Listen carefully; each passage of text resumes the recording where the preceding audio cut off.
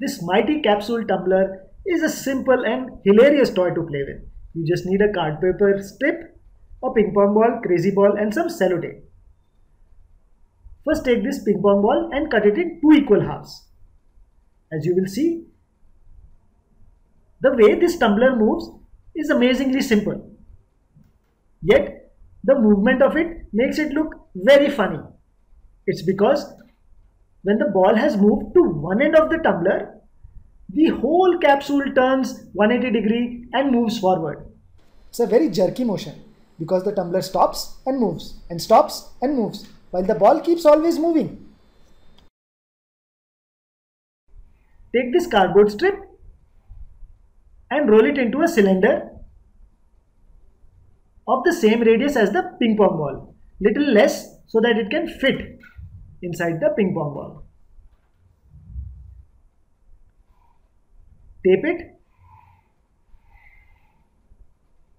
Make sure the ball, the crazy ball or the hard rubber ball can easily slide inside this cylinder. Put the cylinder in one end of the ping pong ball, put the ball inside, cover it with the other half of the ping pong ball and your capsule is ready to tumble.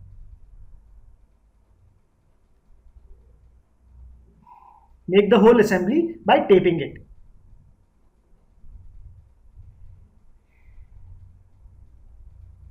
This is a small electrical casing so that the whole capsule can rotate inside it. This is very amazing the way the whole capsule moves. As you will notice, you see this as a jerky motion because when the ball rolls inside, the capsule doesn't move.